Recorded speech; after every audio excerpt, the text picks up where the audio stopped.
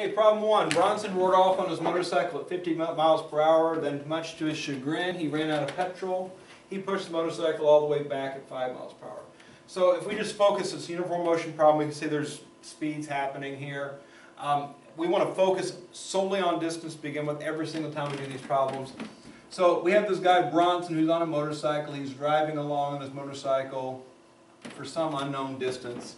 And this will be him riding, so D sub R for riding.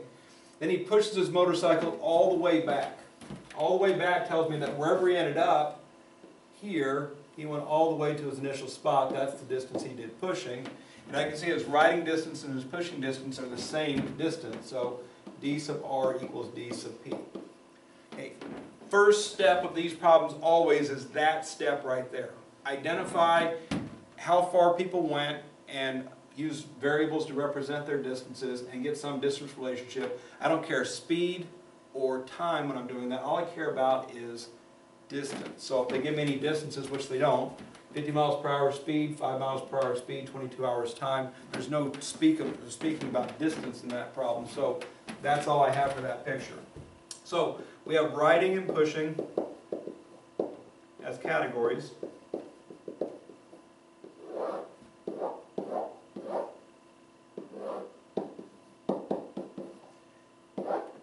And riding his motorcycle, he went 50 miles per hour.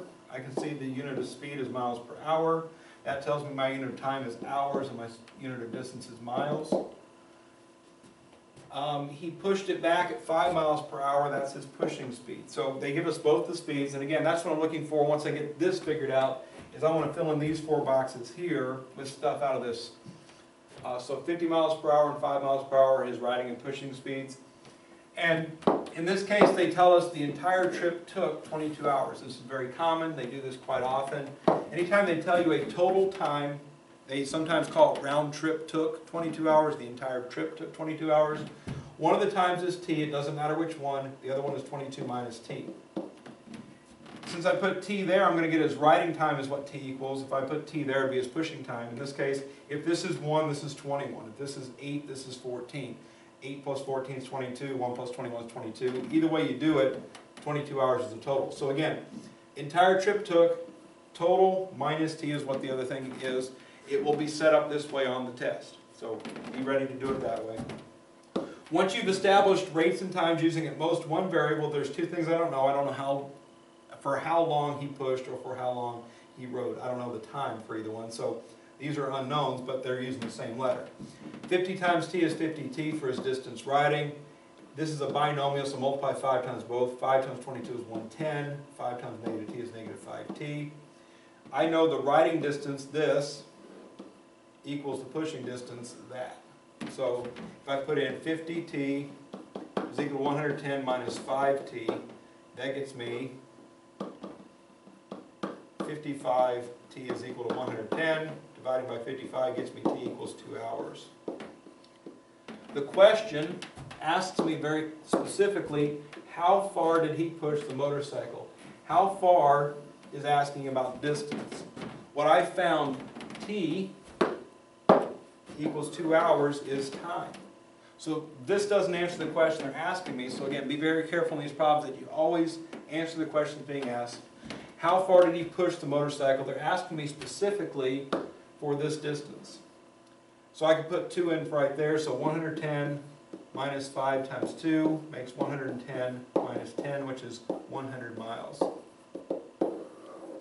I could have also put it here, 50 times 2 is 100, because he pushed and rode the same distance. So it really doesn't matter which one you go back to, just make sure you find me the distance, not the time. The equation will find you the time, you still need to establish what the correct distance is for that problem. Number two, find four consecutive multiples of 3. All right, multiples of 3, if you consider what they look like, um, 15 is multiple of 3, the next one up is 18, the next one up is 21, and so on. That's what multiples of 3 look like. If we figure out a pattern for that, it's a plus 3 pattern. That tells me if I've got some unknown n representing some multiple of 3, n is a number that looks like these numbers. It could be 3, it could be 33, it could be negative 9. It's some number divided by 3. I know the next number up is gonna be exactly three bigger than that. Trying to find four, so three, three bigger than that is n plus six, three bigger than that is n plus nine. So there's my four consecutive multiples of three.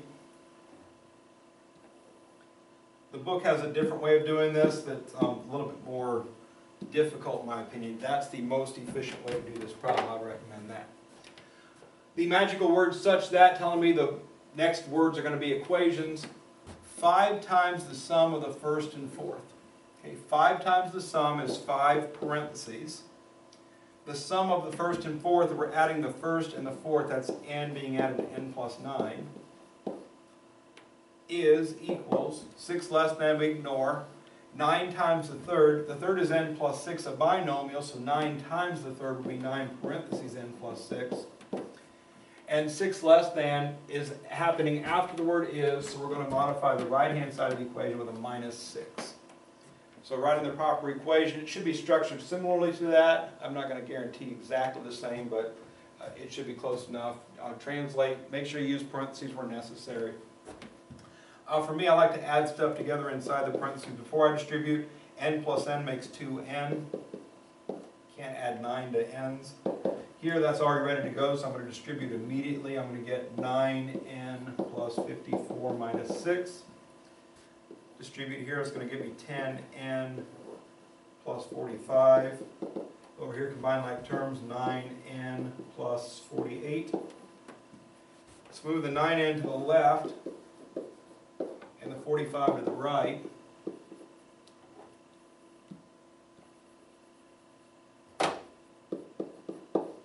Both things I moved change sign, nine n became negative, forty-five became positive. Ten n minus nine n is one n, forty-eight minus forty-five is three. Notice three is a multiple of three, three times one is three, so that's a multiple. So we found a multiple of three. Three bigger than that is six, three bigger than that is nine, three bigger than that, is twelve. So find four consecutive multiples of three. I write the first one, then I add three, then I add six, then I add nine to get the entire list. Uh, this should be a multiple of three. If it isn't, go back and check your equation writing. Chances are you messed up there. This is a pretty popular place to mess up for getting parentheses nine times a single thing, but that single thing is being represented by multiple things. So parentheses are necessary, but it's kind of a little trickier parentheses issue there. Number three, the class treasury contained forty-five dollars in nickels and dimes. There were six hundred coins. How many coins of each type were there? So we have nickels. We have dimes. And we want to have number of things and value of things. We do value in cents when we're dealing with coins. Nickels, I'm going to say there were N nickels and D for dimes, so that's how many of each thing we have. And I know that each nickel's worth five cents. Five times N makes the amount of money in nickels. Each dime's worth ten cents, so ten times D is the amount of money in dimes. And if I start focusing on the facts in the problem, first fact they tell me is that there's forty-five dollars. This is five N cents and ten D cents, that's forty-five dollars, also known as four thousand five hundred cents. Be careful that we modify dollars to cents, add two zeros to a whole number, move a decimal point two spaces for a decimal number, but dollars change to cents. So value variables five N plus ten D is equal to four thousand five hundred cents. Uh, quite often the value equation can be divided, all numbers divided by five here, so I get one N plus two D is equal to nine hundred. So I, instead of going with this equation, I would go with this simpler equation smaller numbers in it. Second fact, there were six hundred coins, that's how many coins there were, that's a number fact. So number of nickels plus number of dimes is equal to number of coins. Just like that, I get myself a pretty simple system of equations. We can see that the n's are exactly the same, so I just have to change the signs in an equation to make this negative n, negative d, negative 600. This is what I want, this is the consequence of my action. Change one sign, change all signs. n minus n cancels, 2d minus 1d is makes 1d, and 900 minus 600 makes 300 dimes. And since there's 600 coins and 300 dimes, there have to be 300 nickels also.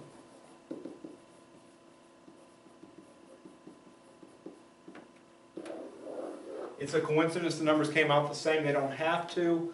Um, for example, if there were 100 dimes, one hundred plus five hundred nickels would make six hundred coins. If there were fifty dimes, fifty dimes plus five hundred fifty nickels would make six hundred coins. So again, I'm making sure there's six hundred coins, making sure this fact occurs, three hundred plus three hundred makes six hundred.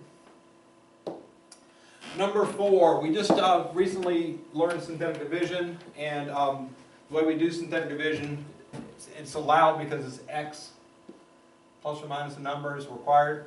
Whatever we're dividing by, whatever makes this equal to zero, goes in this box. So that's minus three, so I put a plus three. Whatever this sign is, this is the opposite sign, make sure that, that happens. The other part of synthetic division setup is this polynomial has to be represented here by its coefficients, leaving zero terms to represent um, missing powers of x. So I have one x cubed, the highest power always shows up, so one x cubed, zero x squared, zero x, and then negative five is the constant. Make sure those are in the right order, highest power cubed, squared's missing, first power's missing, constant is there. Once you get the entire setup properly done, the technique goes as follows, the first number comes straight down, Always bring the first number straight down. Nothing ever happens to this number. They're always the same. Every next number up is a product of this number times the number in the box. So 1 times 3 is 3. Each next number down is the sum of the two numbers in the column. 0 plus 3 is 3. 3 times 3 is 9. 0 plus 9 is 9. 3 times 9 is 27. Negative 5 plus 27 is 22. Subtraction because the signs are different. Positive because 27 is bigger. The number in the box represents the remainder constant, x the first, x the second. So one x to the second plus three x to the first plus nine plus twenty-two over x minus three is how you write the final answer. The plus signs are required. So if this was negative three, it'd be minus. If this was negative twenty-two, it'd be minus. But it's positive one, no sign in the front for positive required, but every other sign has to happen. So positive three x, positive nine, positive twenty-two over x minus three. The power of this is always one bigger than the power of that, so you can kind of verify you have the right power set up. Uh, but again, that's synthetic division. If that doesn't make hundred percent sense to you, you can always go long division on that one also. I'm not gonna go through that technique again. You're welcome to watch a previous video on that technique if you wish. Number five, factor the greatest common factor of this expression. And when I look at greatest common factor, I've got three types of things in this problem. I've got numbers, I have x's, and I have y's. And each of those things has the ability to go into the greatest common factor. Has to be common, and it has to evenly divide everything properly. So, uh, looking at the numbers, 36, 24, and 60, if you can't immediately see it's 12, okay, by just by looking at it, keep in mind there's factor, factoring that we can do. 36 is 2 squared times 3 squared. 24 is 2 cubed times 3 to the first. And 60 is 2 squared times 3 to the first times 5 to the first. Factor tree them, and you get down to the prime power factorizations. For common factors, we're looking for what's common. So there's a 2 in everything, and there's a 3 in everything. There's not a 5 in everything, there's only 5 in that one. And then we take the lowest power, 2, 3, 2, we take the 2, uh, 1, 1, 2, we take the 1. So 4 times 3 is equal to 12 is the greatest common factor of the numbers. As far as x is concerned, um, x is in all three terms. Again, take the lowest power you see. We got 2, 2, 3, take 2. Looking at the y's, my choices are 2, 3, 2, take the 2. And once I've taken out the greatest common factor of this expression, then I have to factor, which means I'm going to take each object divided by the common factor. 36 divided by 12 is 3. x squared divided by x squared cancels. y squared divided by y squared cancels. If this happened to be a 12, this would be a 1 that would have to be written. Okay, but 3 is fine. Um, next number is negative 24 divided by 12 makes negative 2. X squared divided by x squared cancels. y cubed divided by y cubed makes y. Positive 60 divided by 12 is positive 5. x cubed divided by x squared makes x. y squared divided by y squared cancels. So there's the factored form that they're looking for on that problem. Number six, factor completely. Uh, what I'm noticing here is I've got a in all three terms, so a is a common factor. I'm also noticing my x squared term is kind of a backwards term. So what I would do first, seeing that x squared is the thing that's not common, is I'd want to arrange it based on that. So negative ax squared minus 5ax plus 24a. I'm going to arrange it in terms of x. And again, a is a common factor, x isn't. Of course, there's no number that evenly divides 24, 5, and 1, so there's no numerical one either. So a would be my common factor usually, but since my highest power term is negative, I'm going to make it negative that I'm taking out. So a is going to take a out of everything, the minus sign is going to change all the signs. So this becomes positive x squared, this becomes positive 5x, and this becomes negative 24. It's very, very important, we want this first term to be positive 1x squared when we're factoring this. A similar thing will happen on the test, whichever copy of the test you get. Um, you're gonna have to take a negative out in order to create that as a positive x squared. At this point, we're looking for our magical two numbers that um, do what they're supposed to do, which is multiply to make a negative 24. 8 times negative 3 does that. They also have to add to make 5x. You can see 8 plus negative 3 makes positive 5. So 8 and negative 3 are the factors that will make this work. So this quadratic is going to be x plus 8 times x minus 3. And the negative 8 that was brought out to begin with is part of the factored form. To get full credit, you have to do all the way through to the end. It does say factor completely, that means get it down as far as you possibly can. If you get me only to here, I'm not sure how I'm gonna count off on that, whether it's gonna be full credit or half credit, but just always look, if there's x to a power bigger than one, chances are it'll factor again, so try and factor it again. Number seven, same deal, um, notice I got x squared, x constant, if you take the a's off, everything is a squared, so there's a common factor of a squared. So again, rearrangement first, this is the highest power of x, it's gonna go in front. Followed by, this has x to the first, that goes second. Finally, this has no x in it at all, that goes last. So again, arrange it properly first. After you've arranged it properly, common factor again, a squared, a squared, a squared. X, x, no x, so x isn't common. 9, 6, 1, nothing divides all three evenly. 3 divides both of these, but not 1, so only a squared is a common factor. But again, this is negative a squared x squared. My highest power term is negative. I don't like that, so I'm going to take a negative a squared out.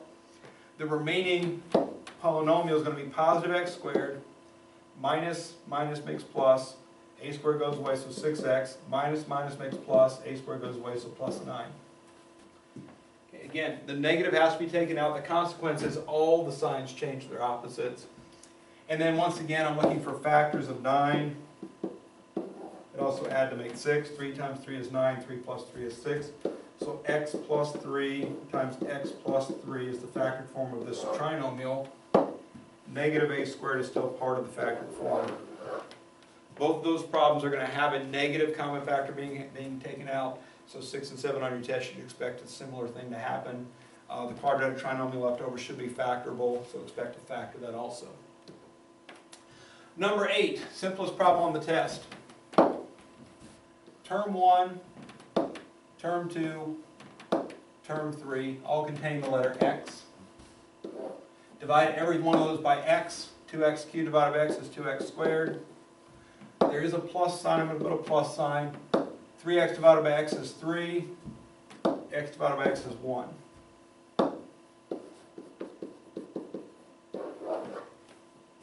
The end. It'll be just like that on the test. Every object will be obviously divisible by something, divide by that thing, and then write the answer down. If this is a minus, this should be a minus, that's a plus, so it should be a plus. It's over one, so it stays over one. If this said x to the third, this be x squared, circle that at that point. So, you know, that kind of stuff could happen, but it'll be that type of problem. Every object has just as much right to be reduced by x as anything else. Most common mistake, people just chop those x's off and don't worry about that one. All three objects have to be divided by x. Number nine. 3 times the square root of 7 being multiplied by the square root of 14 and negative 3 times the square root of 7. So if we do this one first, 3 times 1 makes 3 outside. Inside, I've got a 7 from here and a 7 times 2 from here. So inside the radical, don't multiply the numbers, don't do seven times fourteen is ninety-eight, instead break it down the rest of the way. Seven's already prime, fourteen is seven times two. Three, in this product here, three times negative three makes negative nine, I'm gonna leave myself some space here, accounting for possibility of numbers coming out. Then I got my square root.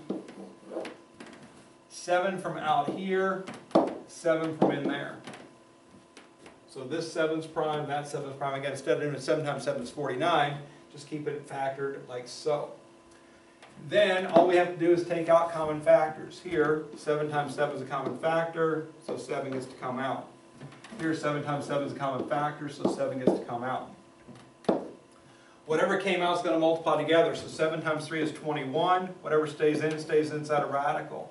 So the square root of two. Right here, seven times nine is sixty-three, it's being subtracted, so minus sixty-three. Everything came out, so the radical disappears. That's the answer. Okay, if that still had a number, let's say there was a three in there also, square root of three is attached to it, in this case there isn't, so that's the end. That's what the problem should look like on the test, it should have that kind of structure to it. Again, breaking down these things to all primes, so you look for pairs to come out.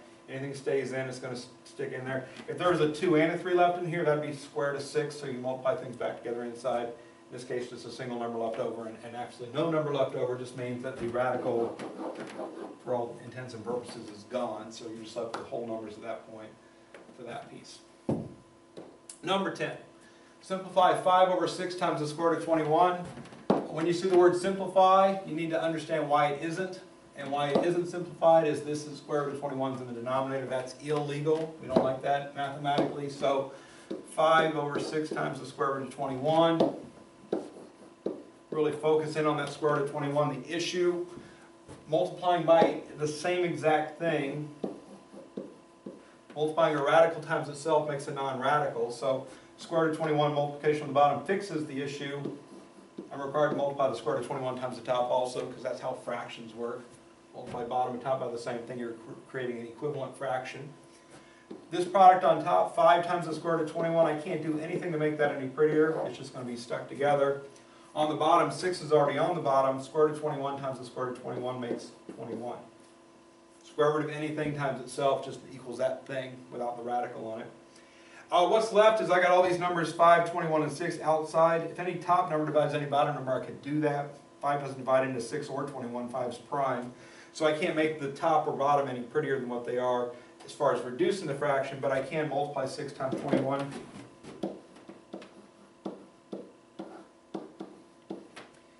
Temptation does exist here that we have a square root of twenty-one, we have a twenty-one, these numbers match. That's pretty common.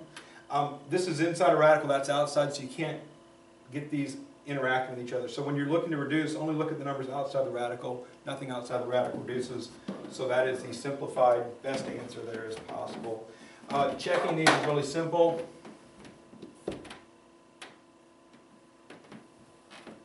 By typing the original problem, five divided by parentheses, six square root of twenty-one, in parentheses for the square root, in parentheses for the bottom equals, and then I type in five square root of twenty-one, in parentheses, divided by one twenty-six. You should get the exact same decimal number. If you do, that means you have the exact right answer. If you don't, then you did something wrong. Check your work. Number eleven, add. And what I'm noticing about number eleven is this is a quadratic trinomial in the denominator. So first job is to factor that trinomial. x squared plus six x plus nine, three times three makes nine, three plus three makes six. That's being added to two over x plus three. If I compare the denominators, x plus three is exactly the same in both of them. This second fraction has an x plus three, that this second fraction doesn't have a second x plus three, so I need a second x plus three on this one, which requires a second x plus three to be put on top. If I distribute this, I'm gonna get two x plus six, which is being added. So in order to add the two fractions, I simply have to add the numerators as much as possible. I've got three x plus two x makes a total of five x plus six all over x plus three squared. I'd be fine with leaving it as x plus three times x plus three, or even x squared plus six, x plus nine, take your pick. The top has to be completely simplified, the bottom, um, of a factored form, either this type or that type is fine, but again, you can go all the way back to the polynomial. If you don't add the three x and two x, I'm probably gonna take off half credit. I want the, the top completely simplified, that includes adding all like terms that you can add. Number twelve, in this figure, AB is the diameter and straight, and a straight angle. So that means that AB, it should say AC. AC is the diameter and a straight angle.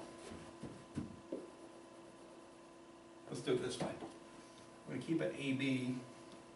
We'll make this a C and this a B. There we go. AB is a straight angle, and they want the, find the length of arc BC, that's this, yeah, okay, perfect. All right, so. Um, if AB is a straight angle, that means that AB has exactly 180 degrees in it. And I can see very clearly that this angle plus this angle plus this angle adds up to 180 degrees then. So x plus 4x would have to equal 90 degrees.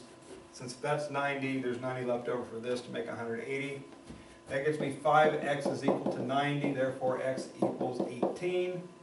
And also therefore 4x would equal 72. So just like that, x equals 18 degrees, 4x equals 72 degrees. I'm able to find the exact angle measure of each of these three angles in the picture. What they're asking me for is not the value of x or even the value of 4x, but they want the area of the sector and the length of the arc. Okay, so let's start with the area of the sector, this piece here.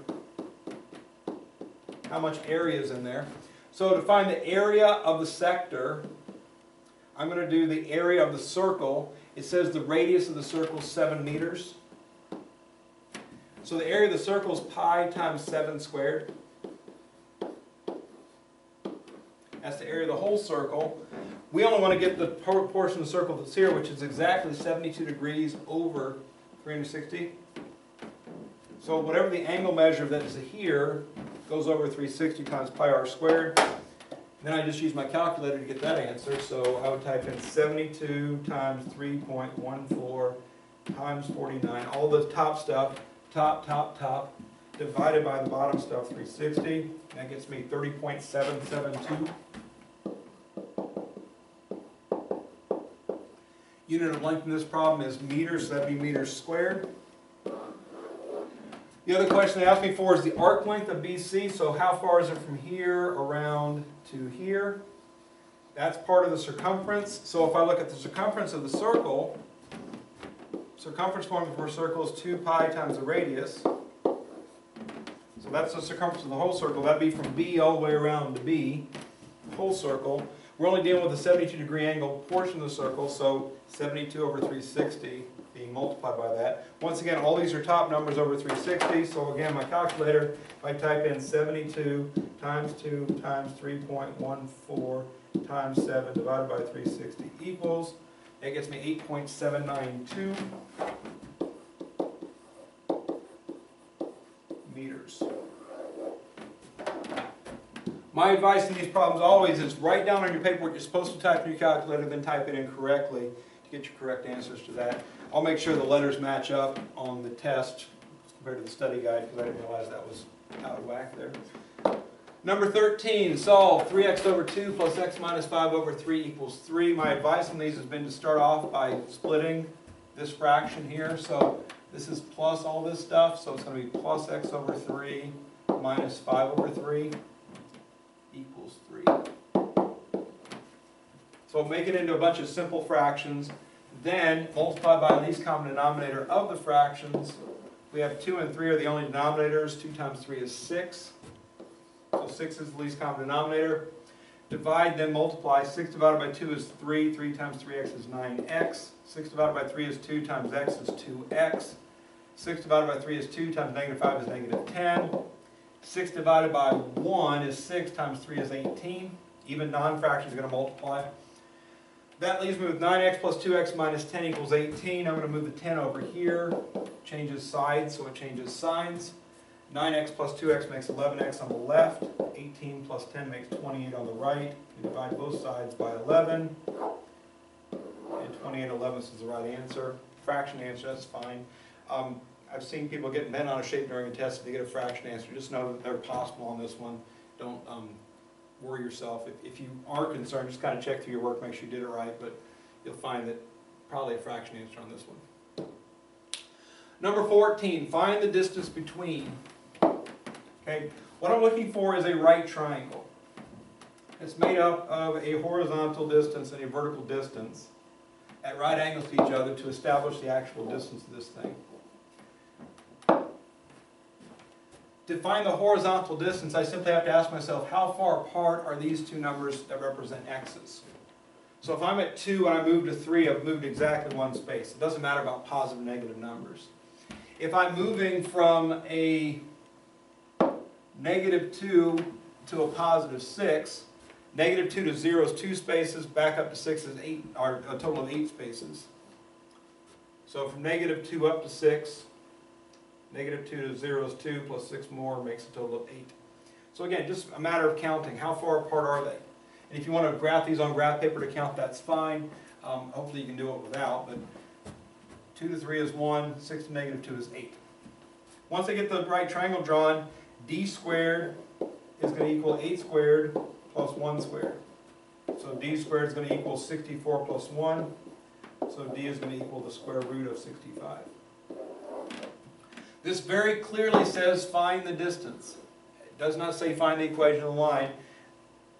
Some of you are still doing that. You're, you're giving me the wrong answer. You're doing the wrong thing that they're not asking you to do. So make sure this one says find the distance. That's number 14. I'm looking for how far apart they are. How far apart are the x's? How far apart are the y's? Pythagorean theorem to find the length between. Number 15, expand. My advice on these has been, to this point, make every term, this term outside the parentheses, this first term inside the parentheses, and this second term inside the parentheses, all as simple as possible. Positive powers, one of each letter. If it, if it doesn't look like that to begin with, fix it to begin with. You can see this one does not start off that way. This has a negative power and it has to be fixed. So 3 is fine, y cubed is fine, z squared is fine, x to the fourth belongs in the bottom.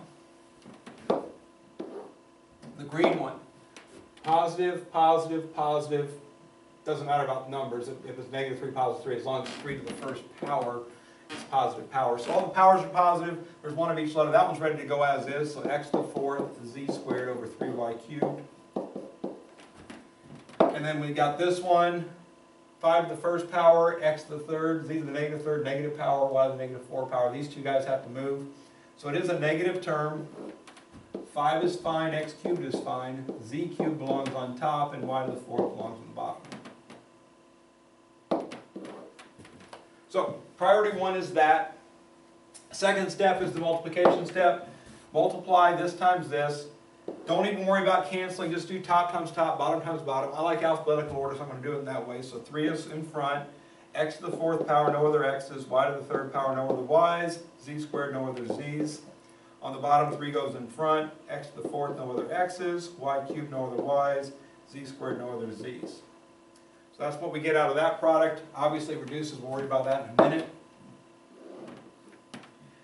3 times negative 5 makes negative 15. Always worry about the number first.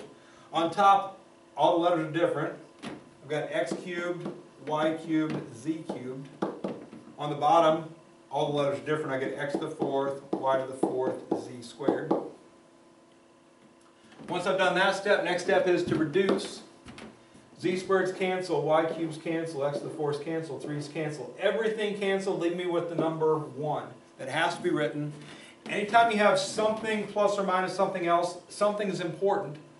So you have to have something there. If you cross everything off and just say, that's gone, go away, we don't care about you, then you're going to be in trouble. So if everything cancels, you do have a 1 left over. The fact there's a 1 left over on the study guide tells me there's probably 1 left over on the test on all these two terms. Be careful of that. Uh, 15 is fine where it's at. X is bigger on the bottom, 4 minus 3 is 1. Y is bigger on the bottom, 4 minus 3 is 1. Z is bigger on top, 3 minus 2 is 1. So 1 minus 15, z over x, y would be the best simplified expansion of that problem. So that's kind of what I'm looking for for an answer.